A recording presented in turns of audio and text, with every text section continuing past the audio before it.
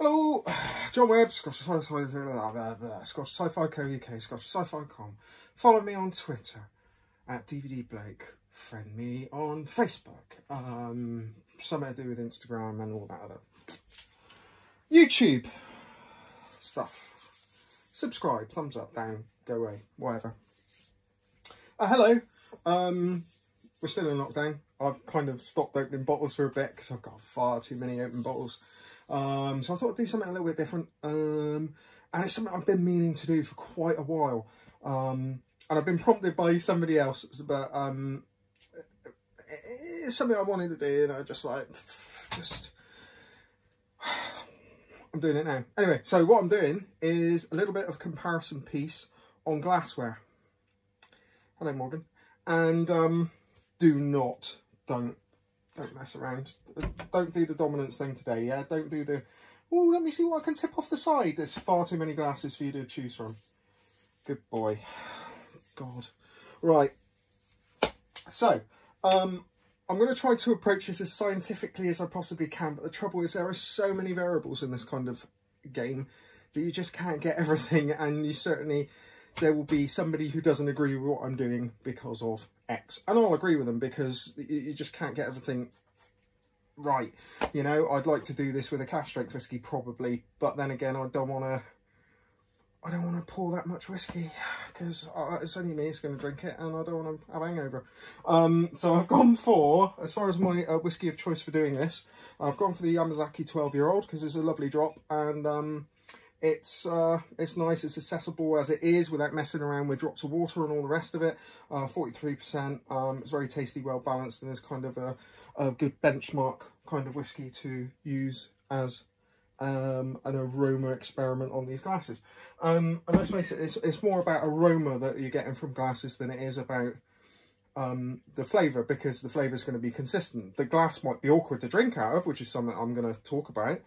Um, but by and large it's more about glass shape which focuses uh, aroma and evaporation and sort of like the ability to get to those aromas and all that kind of thing.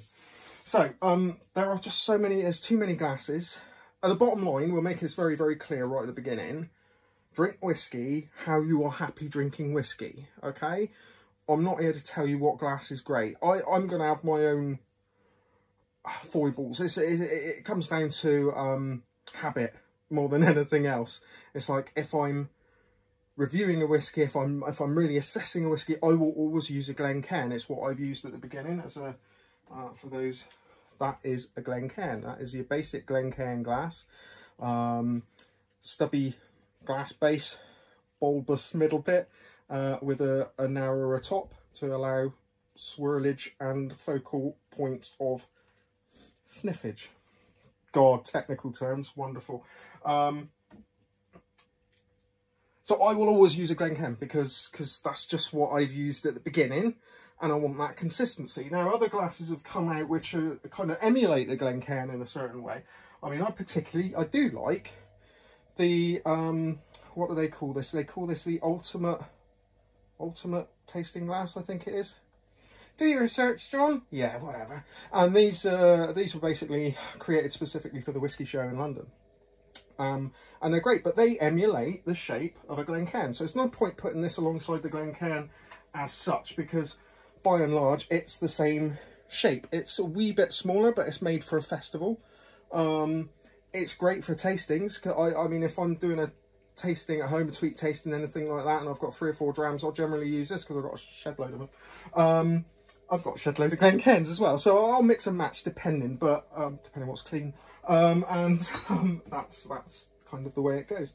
Morgan's drinking. Oh, right. I'm gonna have to excuse the fountain going for a minute because Morgan's trying to drink out of it. He's like looking at it. What's going on? Why? Anyway, so I'll switch it off when he goes. I know he's not drinking. Get. Um. Okay, so that's the very basic Glencairn, which I generally use and I do favour just from the point of view of it's a consistent and generically available. Um, it, it's just like the consistent tasting glass for whiskey. That doesn't mean it's necessarily the best or anything like that. I mean, I really like a snifter glass as well, and that's a particularly big one. That doesn't mean that does. I've been watching a lot of The Office, um, and doesn't matter. And um, that that uh, that just does the job really well as well. All right, go away then. I'll switch fat enough now. Get. Um, in a similar vein to that, though, you've got this style of snifter glass. Uh, this one's particularly Scotch Malt Whisky Society, but there are many that create them like this. Put that down, Jonathan. Um, and that's, again, it, it's all similar kind of point of shape, you know, a, a bulbous bottom with um, a uh, narrow top, again, to, to focus focus the aromas and all that kind of thing. It's very similar to the Glencairn in that way. And, you know, it's going to be interesting because I've never compared glasses. This is a first for me. So I've never actually gone glass, glass, glass, different, different, different, sniff, sniff, sniff, sniff. This is a first. It's going to go horribly bad or it's just going to go nowhere. Um, that's life. Um, so, uh, talked about that. Um, again, on the Glencairn side, you can get these wonderful, nifty little tiny Glencairns, and that's they're awesome for trains and um, and tastings again. And um, I, I really, really like these. And you know, if I'm going, if I'm going into town with a, on a tasting, uh, for a tasting or whatever, and I want to have a glass on me just in case, and a couple little vials of amber fluid, um, then this is great to have in your bag. Um, just in case. Um, and then you you know you start off with the uh, as far as glasses are concerned, the traditional tumbler shape. You know, that's a really nice weighty, roxy kind of like heavy glass, and that's that's great for drinking whiskey out of if you don't really want to smell it, because you can't say that. You know, I've I've poured one in there just for giggles, but uh, but and just to prove a point because I've not done this side by side. I remove this glass from the equation before I drop it.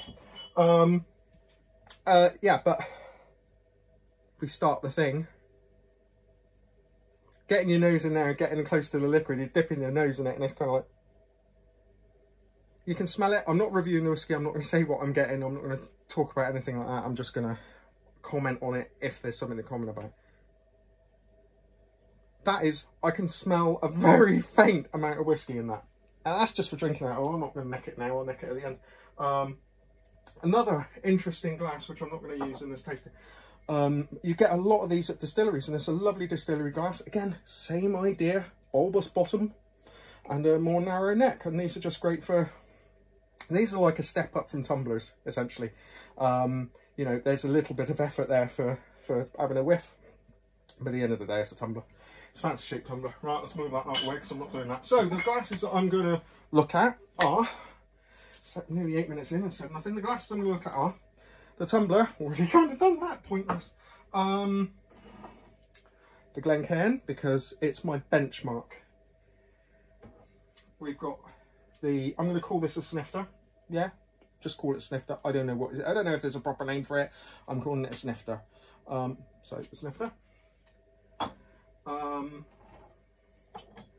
this wee one, which is uh, it's um, it's a kind of a, it's like the Irish version of a Glencairn. I'm going to say and probably get it completely wrong and want and a million Irish whiskey drinkers want to kill me now. Um, it's called a, and this is where I really will want to be killed. Uh, I think it's called a Tirith or a Trith, or I've just made that up from some fantasy uh, sci-fi thing. Um, and it's an interesting one. I kind of wasn't going to do it, but um, I thought it's an interesting shape. It's a unique shape, so I want to I hope my nose is working. I hope the bloody COVID ain't got me. Right, um, we'll, right, okay, we'll go back to that. Um, the next one is this neat glass.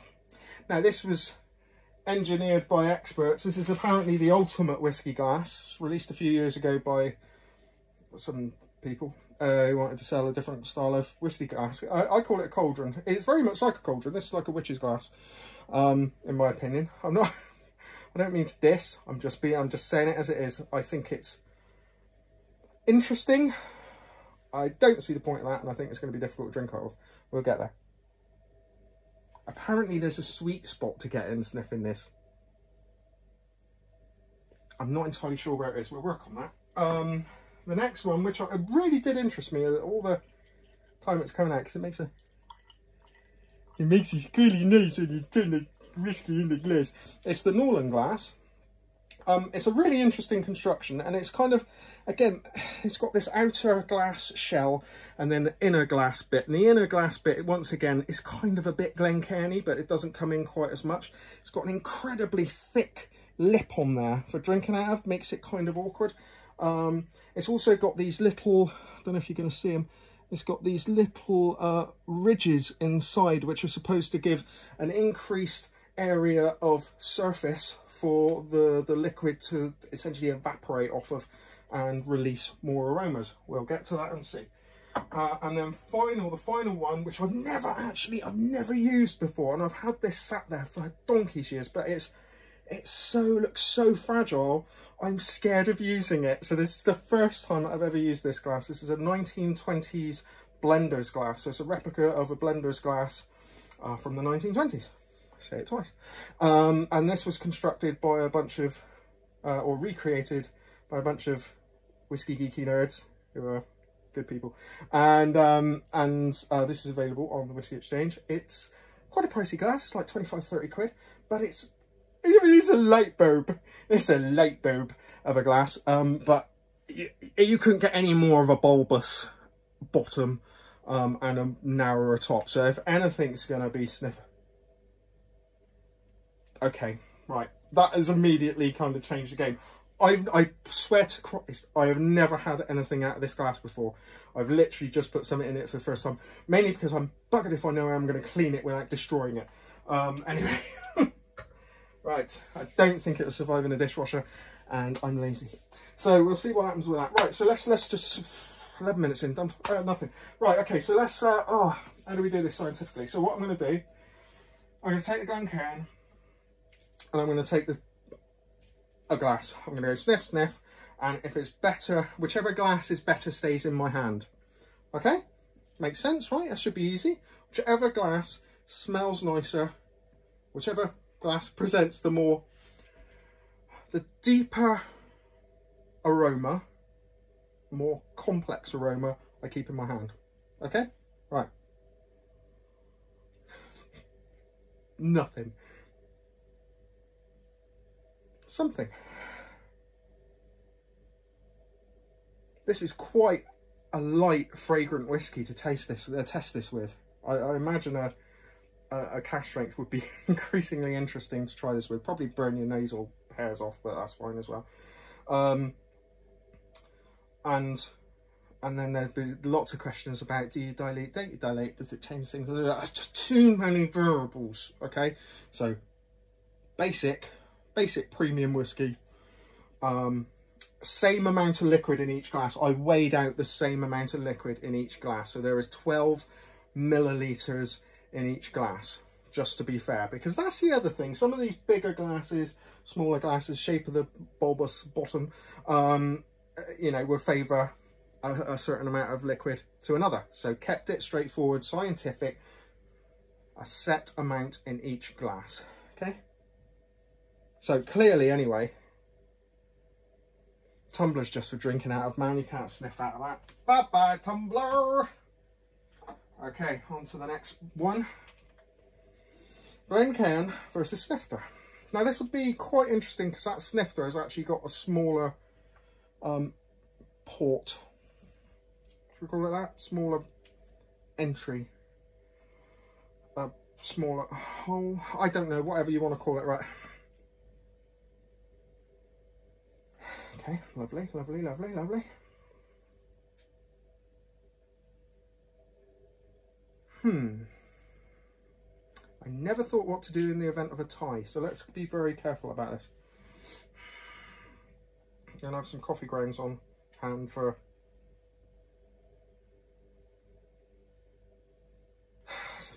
lovely whiskey. It is a really nice whiskey.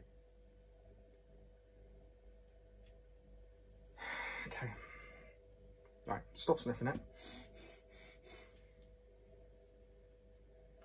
Okay.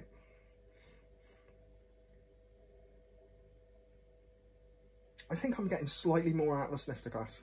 In all honesty, I think I'm getting slightly more out of the snifter.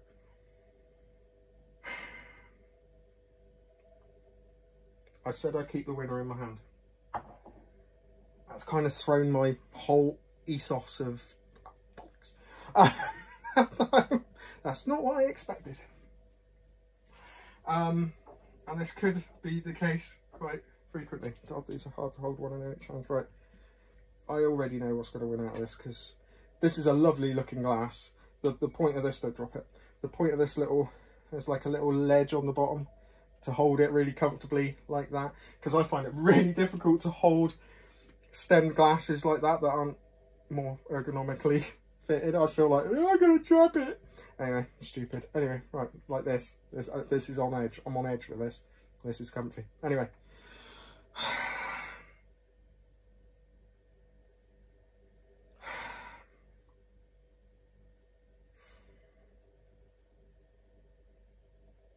Winner.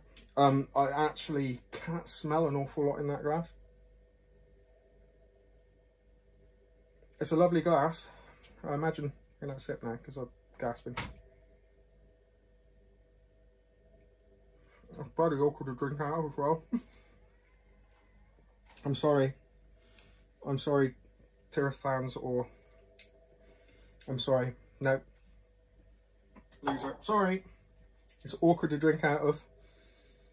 And I don't drink out, drank out of this one in fairness. That's usually a drink out of. Sorry. It's not all about drinking out of, but I'm getting far more aromas from this than the other one anyway. So, anyway, on to the next one. God help us. Right. Shouldn't be like that, a bit of neat glass. I bought these glasses, by the way. I, I, I haven't been gifted any glasses. I, well, the, that Terrify was actually gifted because it was in a tweet tasting, but I'd never seen the glass before that. Um, but everything else bought, just so you know, no favoritism or anything like that. This is just me talking I don't even know how to hold this cauldron.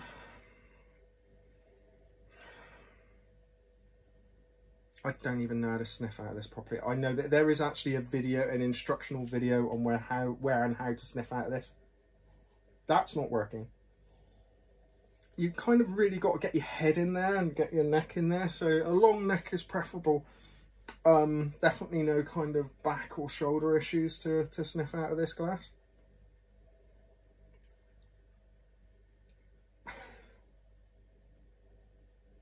and preferably not even a, a, a, brow would be handy. Oh, I don't know. I need a training course on this, glass. Nope. I don't even need to go back. I don't understand this glass. I would love to understand this glass. I'm clearly doing something wrong. Maybe I just don't have the nose for it, like the physical size nose or something. Maybe you need a straw up each nose. I don't know. Um, and drinking out of it, I've never. I, I almost want to chew on the side of it. Like if this was made of sugar glass, it'd be great because just eat it and then drink out of it when it's proper shape. Sorry.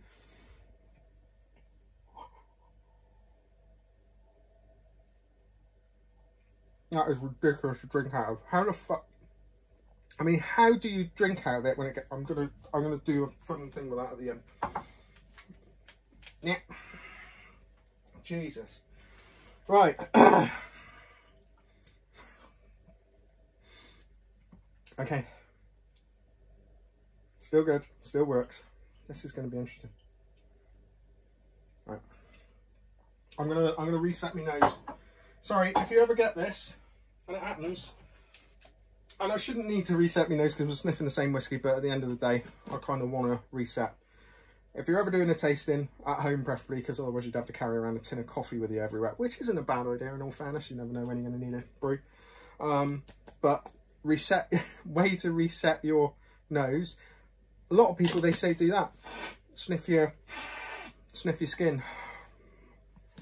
But nowadays, if you do that in public, people think you're ill and they'll run a mile. So don't do that unless you're ill. And then I'll run a mile from you. I won't run, I'll, work, I'll walk fast, I don't run. reset. Okay, like flipping the reset button on the nose. It's really good doing that actually, it really works very well. I learned that when I were at Costco one day and they were doing perfumes. Anyway.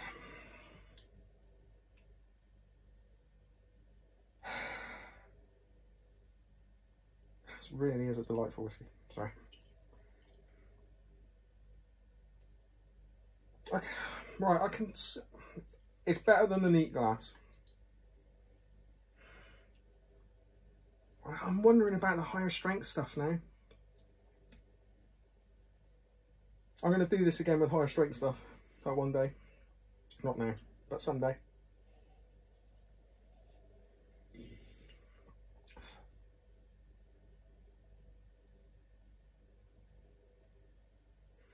It's nice. It does actually do a job. It's not a bad glass for the smell side of things. Still wins. Again, it comes down to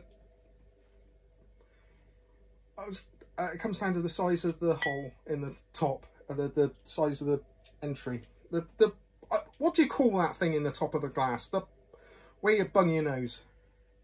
Getting angry now. right. Yeah, still winning. Okay, um, and to drink out of this thing, because it's got a big lip. Okay. You can misjudge how much you drink out of this. Difficult to take a sip out of. And because of the way it bulges over, it tends to not concentrate the liquid into one location. So you might get a little bit on the side of your chops. Not one to imbibe from if you've already had a few.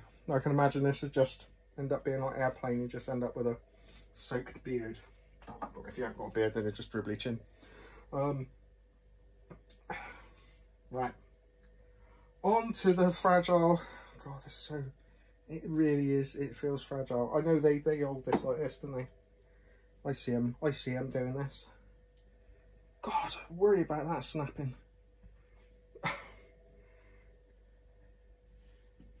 That's a heck of a glass, eh? That's funny. Um, right. I do, I, I do like this glass. I like it. I like the look of it. I've still not drank out of it yet. This is the first time. Jesus Christ.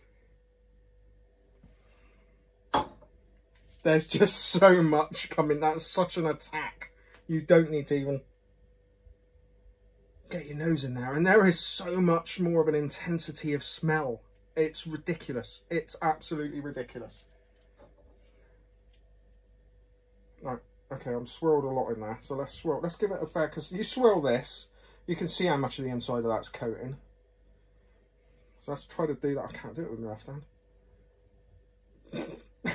that's really hard work. Ah, I give that a good swirl. Okay. Awesome. Holy Jesus. that's insane.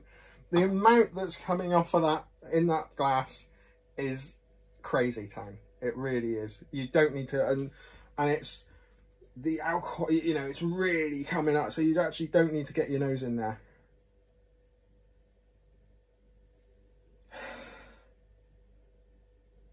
That's a hell of a glass. Damn it. Okay. So from as as non-biased a scientific point of view, it's winner winner chicken dinner for the 1920s blender glasser. Um, it's incredible. Uh, that's there is so much coming out of there. It's just doing all the job that that heat and and just uh, it, it, uh, there's there's it, it, that's it. That's the winner. If you want to sniff your whiskey, really concentrate on your whiskey and intently find and explore the liquid, this is the way to do it in the nasal way. Now drinking from it, I'll still probably use a Glencairn just because it's easy. I really need to get more of these now because I'm just going to break this one. I, I need a backup. I'll need a backup glass because I'm going to start using one of these. like the, can you redesign this bit? Can you make it more like a Glencairn with a big ass bulbous? Would that be too much to ask, or do we need the? Is there is there is there any? Hmm, I don't want to knock it, but is there any logistics in having a big stem other than looking posh? I want a practical 20s blenders glass. How's that sound? That possible? I'm going to get a kick in for that. but it's an amazing glass. Okay. Sippy drinking time.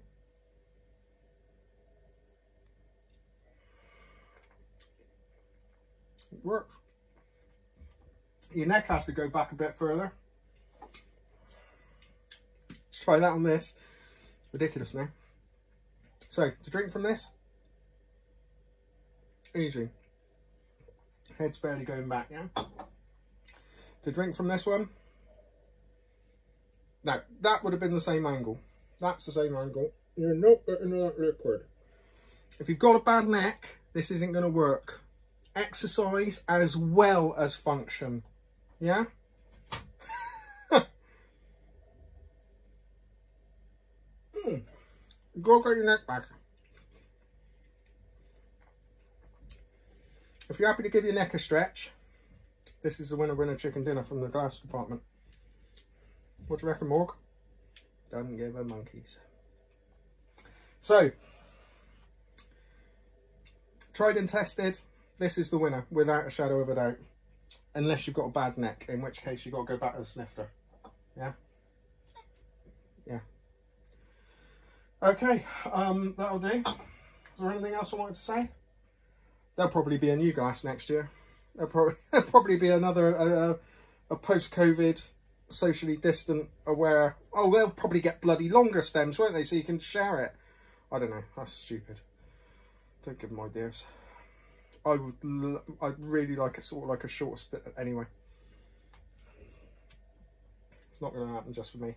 Morgan's up for his water again. So switch that back on. Not going to make him wait. Not going to make him wait for a stupid YouTube video, are we? There we go. Good boy. So, I don't know what else I've got to say, to be honest. Um, this is the winner. Nicely done. I need to get another one of these buggers now because uh, ah, it'll top off an order, I suppose. Think of it like that. If you're buying a 70, 75 quid bottle of whiskey on the Whiskey Exchange, bung one of these in your glass, you get a fiver off with a postage, don't you? Yeah? So you can top up an order and get a stonkingly good glass. Ah, good idea. That is a really good, it's really good for sniffing. Uh, ridiculously good. Not so good for drinking. In honesty, truthful, have a good neck or do a bit of yoga, bit of whiskey yoga. Upward sip, all that. Right, that'll do. I'm going to finish off all that whiskey. chuck it all in a tumbler. Um, cheers. This is what a tumbler is good for. Mmm. Mmm. Oh, God. That was nice.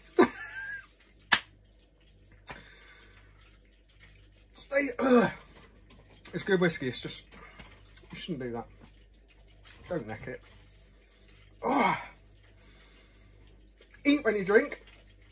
Um, stay safe, stay in, keep yourself well, so when all this crap is over, I can see you all again, okay?